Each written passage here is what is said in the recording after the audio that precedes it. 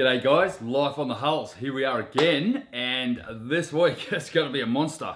Um, I got a lot of questions when we were joining the hull and the deck about why I didn't seal the gunnels of the boat. Now, the reason why I didn't do that is because firstly, we didn't have time, and secondly, I wanted to make sure that I had a perfect match, and it gave me some breathing space with which to make sure that the entire gunnels matched up and lined up exactly as we wanted them. So this week, Janet and I are going to actually join these with epoxy. We're going to actually glue them down and screw them into place. So that's the first part of this week's video. The second part of the video, I'm going to butcher the bejesus out of the top of this deck and uh, you're all going to cringe when you see what I've got to do to this.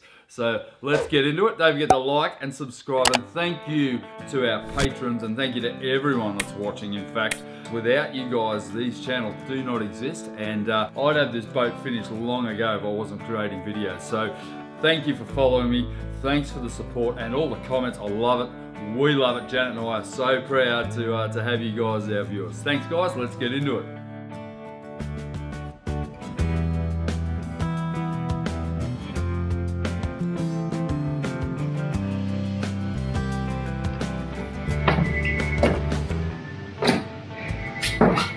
So we're ready to join it, Jen. Yeah, We've lowered the deck. It's time to finish this. So this gap here, uh, we left this till today because it was just going to be too much. And to be honest, I wanted to make sure it was all pretty even. And I've got it very, very close, probably within five millimeters all the way around. But and I sanded both surfaces before we dropped it. But it is high humidity today. So what I'm actually doing here is I've just got some acetone on a rag and I'm cleaning both surfaces. Remembering it's only going to be about one centimetre of epoxy um, holding this thing together and then I'm going to be tabbing it and then we're going to grind the flange off. So just by cleaning the surface and getting the humidity um, is an issue here. I just want to make sure that we sort of do it reasonably quickly after we smear this acetone. Um, but right now you can see it's pretty close. There's a bit of undulation in it and that's where there's differing thicknesses of laminate but that's not really going to cause a problem because I'm aiming for about 5 millimeters of epoxy all through this gap here. Not very nice sound, is it? No, no, no. Because it gets nice and clean. Okay, Janet and I are about to join the hull sides, the gunnels of the boat. Now this is a pretty important step because we've got a bit of a process. What we're going to do, we're going to actually lever it open with a chisel um, or a, a lever and then we're going to pipe the epoxy into the gap and then I'm going to go outside and tighten the bolts respectively as we go along and uh, and then Janet and I are going to clean up uh, we don't expect too much ooze out but we do want to fill this gap and then we're going to leave it bolted together until I get all of the tabbing done inside this will be tabbed from here to here, like probably four layers of 600 double bias to make sure that we get it all tabbed. Now I have had to do a little bit of pushing and shoving and a little bit of um, a little bit of adjustment in certain areas. In the stern cabin on the starboard side here, you'll notice here I've got this piece of wood jammed in here. We ended up with these wedges here. This is in exactly the right spot here, but as we went along, this area here was flexible enough that it was actually moving in. So there would have been a slight underbite. And I also had to, you see that light coming through that bulkhead there, I had to cut a sliver out of the bulkhead, ratchet strap it in, and then glue the sliver back in. Now that was done yesterday, so that's now solid and at the back it is perfect. So the whole thing has been tortured into place and certainly without distending the outside. I had to be careful I didn't create any lines or any you know, undue bumps that were going to affect the fairing of the boat. So I'm going to start up in the bow on the starboard side here and I'm going to pipe it in all the way along this gap here, all the way along. Now I've got about a centimetre and then I'm going to screw it together with the bolts from the outside. So I've got all manner of clamps and, and bolts and nuts and bolts and stuff going along here to join that flange and hopefully stern section yet. I'm more worried about getting this whole thing together. Now the bow has had some issues and I'll talk about that a bit later on, but let's get on with it. Get mixing. Going Going in. Got this mixing gig down pat, haven't you? in. My job. Yeah. My own personal plural mixer. One thing, never let go of this end. you with a dent in your arms. Alright, ready?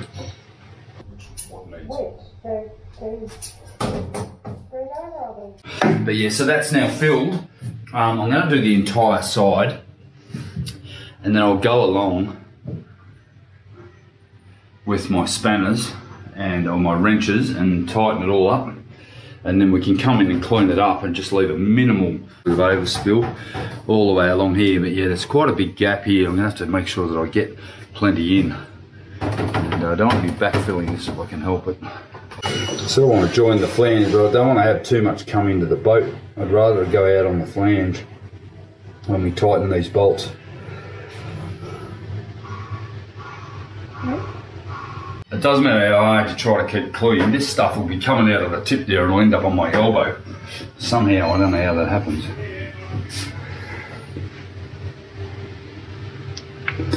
Can see the gap there, so we're going to tighten that down to within about five millimeters is what I'm aiming for the whole way around. I love a good run like this. Been a few years in the making getting this done. Joined together. Mm-hmm. I'm doing this one here, just tell me what it's doing. Should close down, open it all.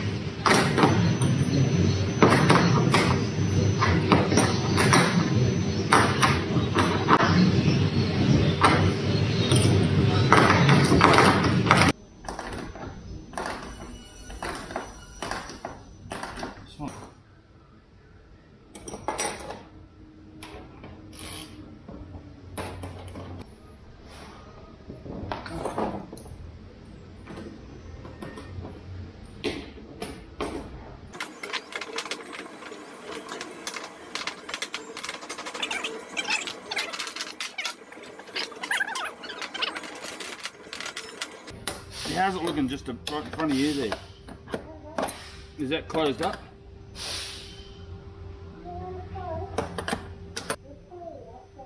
That's all right. Tighten this clamp down. Just. Mm. Oh, right. How you going? Hey. Hey. Look at that. Oh, sweating. It's not even hot. I'm sweating like a heat. That's as tight as now. That's actually really, really tight along there. Good as I can get it. A lot of glue and uh, and the tabbing's going to hold it together. That's the key. Nice because that underbite actually disappeared. As we screwed it together, I actually angled the holes that I drilled, and as it's gone, it's pulled the the deck towards the hull, which is sort of what I was anticipating. And now I've got I reckon about as close as I could have ever got.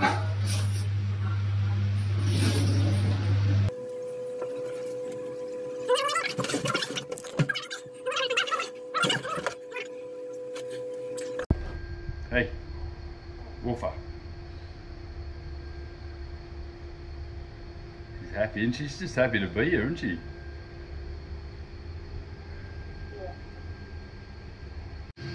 Got a job for a really small person um, torquing the flange of the bow right at the very bow is a job for someone very tiny. I beg your pardon? I'm not going to do that. Hmm, Janet just let me have it because I asked her to get. I actually asked her to get in there, and we're not even sure she fits. With no warning. So it freaked me out. Yeah. Janet, would you mind going down that hole? Can't get it past my chest. I just cannot get. If I go in there, there's no coming out. You have to cut me out with a grinder, and that would not be pleasant. So, I know that you might fit. And you're going to get me out, right? Yeah, I can get you out. As long as you put one arm up and one arm down, as we used to do, when we used to cave dive in holes this small. Oh, it wasn't quite this small, but we went down some pretty small holes, and we used to have one arm down and one arm up, so that you could pull yourself out if you get stuck, or pull yourself in. But it is a tiny hole. This one's about four foot deep. Maybe not four foot, maybe three and a half foot, but yeah, look at that. Oh, she just blew the cave diving rule. One arm in, one arm out, that's it. Oh, well done. So, so what Janet's gonna do, she's going to caulk epoxy all the way around this flange and basically fill entirely around that flange and then uh, and then come Monday or Tuesday I'm going to get Janet back in there to do some tabbing. That's going to be fun isn't it? Check up in the bow of your boats guys if you've actually had the ends finished properly.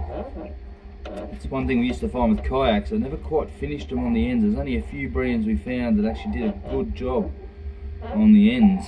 In fact, what we used to do, we used to stand the boats on their ends and pour a resin, a very cool resin that was more like a marbling resin that you'd use for bench tops, into the end to make a solid nose. Around about half a cupful, 150 mils was all that was needed to consolidate that join because you can never consolidate it properly uh, because of the length of the nose. Obviously, some of them are four, or five foot long. You just can't get up there. You don't want to stick in a brush. So we pour the boat, end pour it, and then we put that in a bucket of water. And what that'd do it'd actually uh, keep the exothermic heat down while we uh, while we basically consolidated that nose and then we'd do the seam on the outside. But for now Janet's doing a great job in here. Aren't you Darren?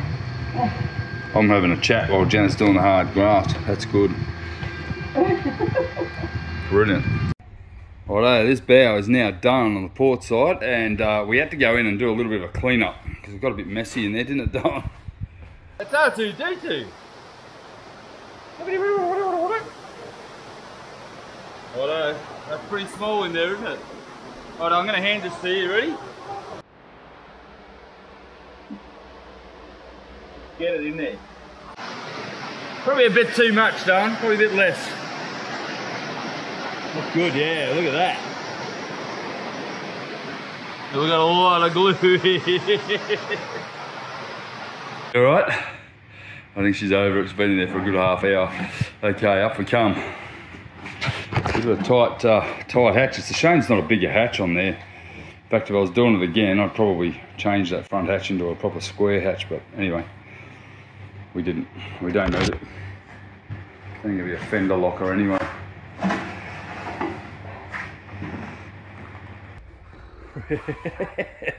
Wild woman of the north. Oh, thanks, I like it. I like it. I like my woman wild.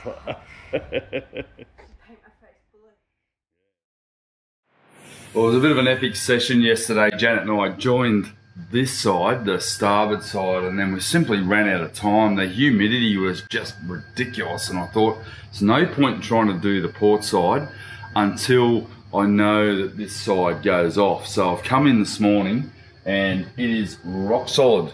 Absolutely no chance of that not curing. It had already sort of semi-cured before I left, but I just want to make sure that it was rock hard before I attempted to do the other side. I've got a million other jobs I could go on with. Uh, and that's the beauty of working on my own. I don't have a production team here working with me. I'm not sort of forced for time ever, um, other than I want the thing in the water.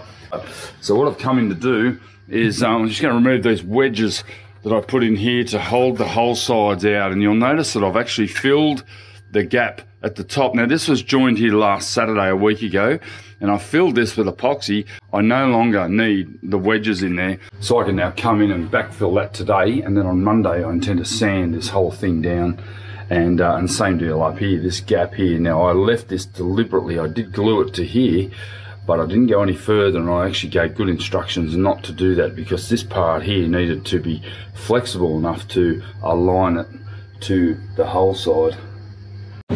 Oh, time for a break.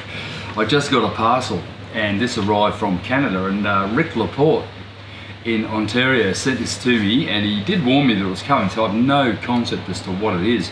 Um, it was sent on the 27th of October and it's now the 24th of February. It just goes to show you the um, the supply chain problems we have. Normally this would take about three weeks. It is now uh, four months later I've received this. Now I do happen to love the way Rick wraps his gifts. Um, quite amazing. It's a map. I think I think it's actually a map of Ontario, and, uh, and I'm pretty rapt to have received this in four months and uh, I know the poor bugger's just come back from Mexico and he's back into the deep freeze so let's open up and have a look. I'll be one of his cats. He's always uh, sprinking his cats. This.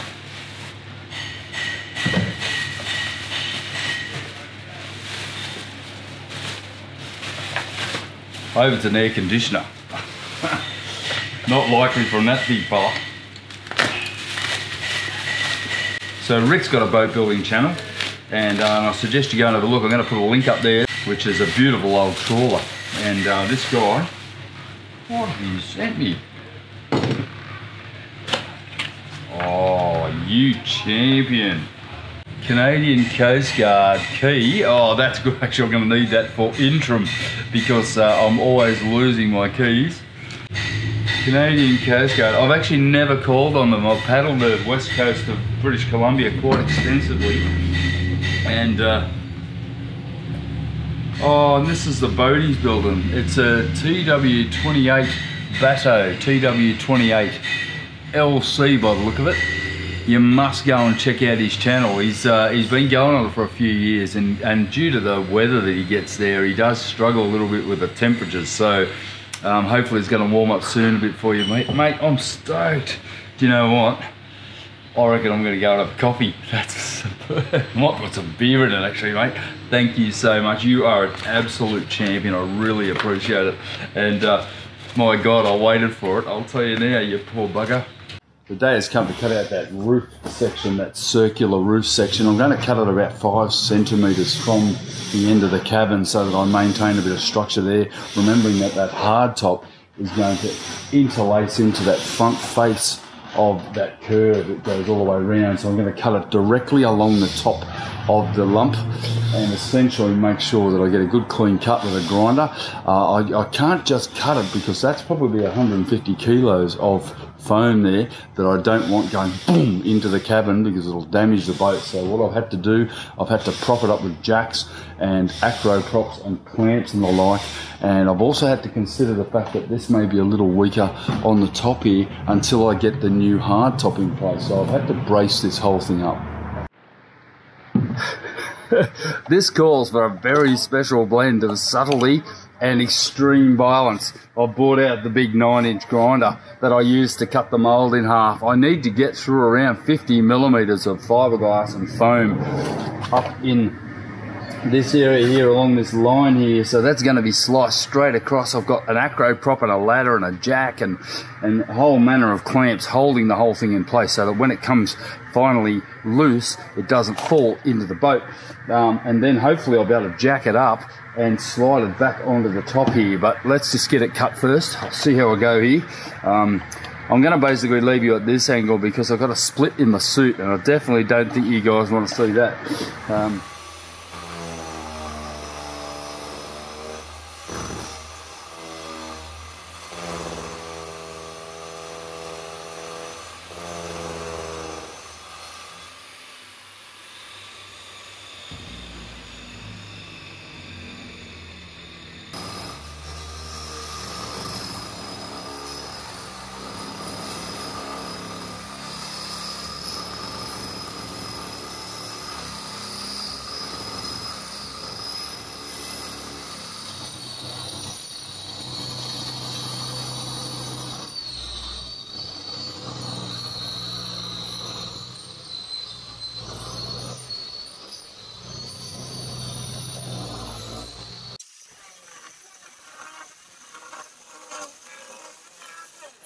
Right, we're almost there. I'm down to the small grinder here.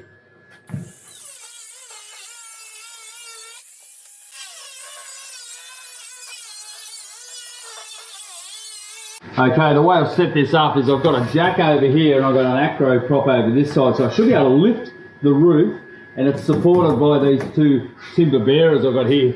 Um, but what I've got to do first is just let this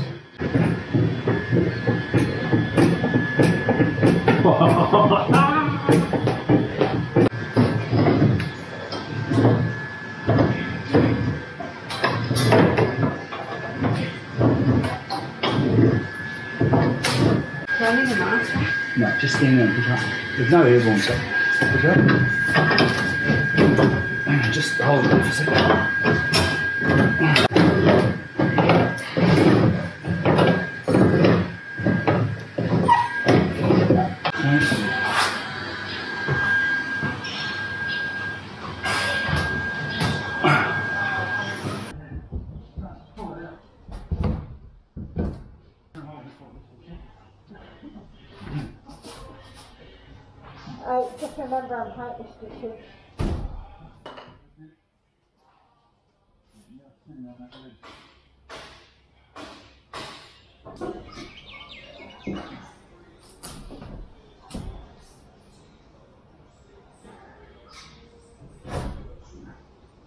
All right, well that's cut out and uh, we just had a bit of a scare. So uh, we almost got our dog run over by a tow truck and um, that scared the crap out of us. So I'm done, I'm gonna leave it sit there. It's on Acra props and on a jack, but it's done.